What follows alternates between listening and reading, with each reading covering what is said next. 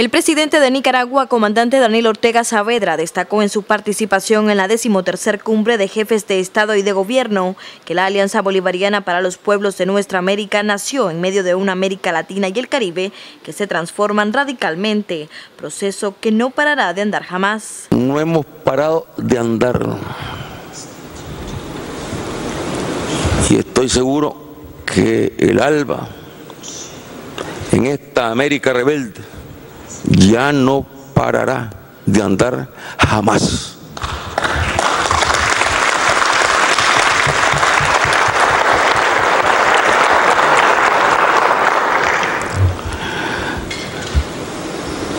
Es cierto, hemos tenido algunas bajas. No hay batalla en la que no se den las bajas. A partir del alba, se ha fortalecido la región. O sea, el ALBA ha sido el detonante. Y el iniciador de ese detonante, Fidel y Chávez. Dos revoluciones. La revolución cubana y la revolución bolivariana. El detonante. Y luego hemos, hemos venido multiplicando nuestra presencia, nuestra adhesión al alba. Durante su intervención en la conmemoración del décimo aniversario del ALBA TCP en La Habana, Cuba, el mandatario nicaragüense reafirmó igualmente su solidaridad con Cuba y Venezuela. Nosotros queremos aquí una vez más expresar nuestra solidaridad con el pueblo de Cuba, con la revolución bolivariana, que estamos seguros, partiendo de sus propias fuerzas, que son las determinantes, y contando con toda nuestra solidaridad.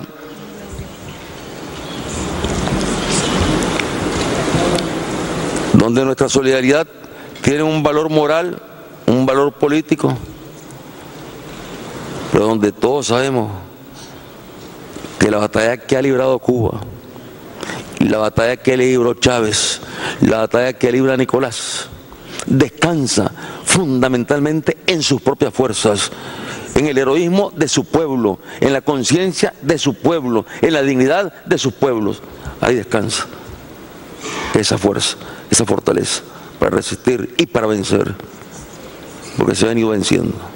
En relación a las sanciones que pretende imponer Estados Unidos contra países como Venezuela y Cuba, el comandante Daniel reiteró que América Latina y el Caribe deberían de hacer sus propias listas de países terroristas, la cual encabezaría Estados Unidos.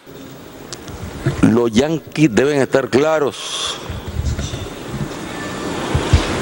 que la América es rebelde, siempre ha sido rebelde, y hoy más que nunca rebelde con la fuerza que hemos logrado construir. Y pueden eliminar a un dirigente por aquí, pero luego saldrán otros dirigentes y se multiplicarán las luchas de nuestro pueblo.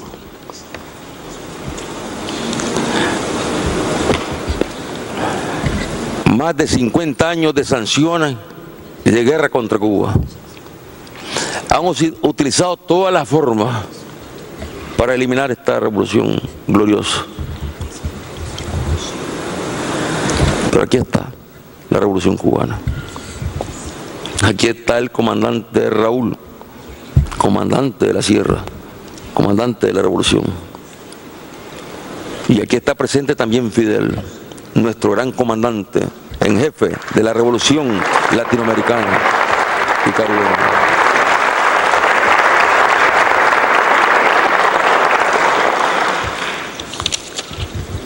Y ya es hora, o ya debería, ser hora que los yanquis entendieran de una vez y para siempre que hay que suspender el bloqueo en contra de Cuba. A partir de las sanciones que han anunciado en contra de la revolución bolivariana, y ya Nicolás se ha manifestado con la firmeza del pueblo de Bolívar, del pueblo de Chávez. Frente a esas sanciones yo decía ahí en Managua que nosotros tenemos que hacer nuestras listas también. Listas de estados terroristas. Y en nuestra lista debería estar el estado yanqui como primer país. Asimismo, se refirió a los diversos programas que tiene el ALBA que han tenido un impacto directo en la economía de los países. Cuando hablamos de los programas más sustantivos que tiene el ALBA y que tienen un impacto directo en las economías de nuestros países y por lo tanto tienen un impacto directo desde el punto de vista social en cuanto a la dignificación de nuestros pueblos y llevar justicia a nuestros pueblos. Estamos hablando de la cooperación incondicional, solidaria, de dos naciones, Cuba y Venezuela. Son las fuerzas determinantes para sostener este proyecto y para que crezca este proyecto. Cuba y Venezuela. El presidente Daniel expresó que en Nicaragua se está trabajando para la instalación de un centro ALBA de capacitación en tecnologías agropecuarias. Un centro, un centro ALBA de capacitación en tecnología agropecuaria. ¿Ah? En tecnología, en tecnologías agropecuarias. Que lo instalemos allá en Nicaragua. Ahí donde tenemos un proyecto eh, agropecuario del ALBA, donde tenemos un centro de desarrollo ganadero, diría yo, de bastante eh, tecnología de punta. Eh, es un proyecto del ALBA, del ALBA. Realmente cuando digo el ALBA, hasta el momento es un proyecto de Venezuela con Nicaragua. Bueno, ese proyecto compartámoslo compartámoslo. Nosotros nos comprometemos a hacer las inversiones correspondientes para que se instale el centro. Nosotros les pediríamos a ustedes cuadros técnicos especializados para que nos aporten y podamos entonces trasladarle la experiencia que tenemos todos nosotros, intercambiar esa experiencia, intercambiarla.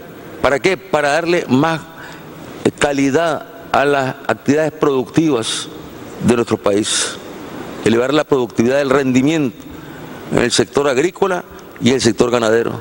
El ALBA nació el 14 de noviembre de 2004 como una alternativa de integración para los países latinoamericanos y caribeños, con énfasis en la lucha contra la pobreza y la exclusión social. Ha crecido obteniendo logros sustanciales en desarrollo humano, social y económico para sus países miembros.